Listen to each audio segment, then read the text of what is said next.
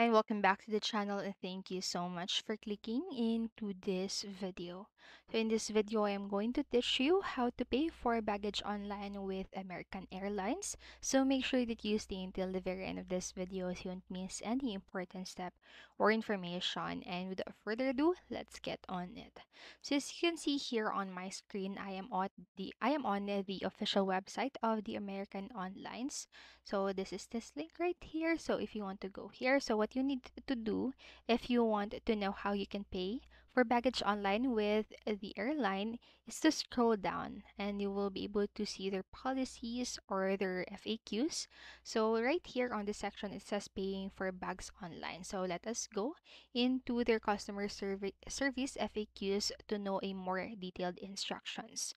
So once you're in here, what you need to do here is to scroll down. So under the payings for bags online, you should be able to see this question that says, how do I pay for my bags online before traveling? So simply click on it and then you will be shown with the instructions so you can pay for three checked bags per person on aa.com or in a app where you check in. So they'll send you an email confirmation with instructions on where to drop bags at the airport. And if you're checking more than three bags per person, you can add more at the airport according to the max permitted on your trip.